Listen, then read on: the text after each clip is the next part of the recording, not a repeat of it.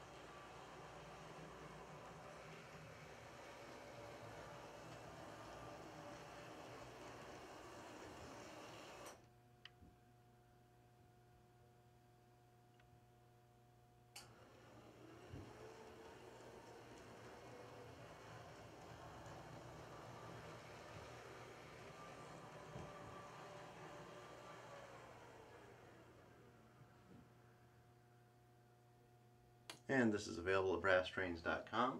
The item is 066815.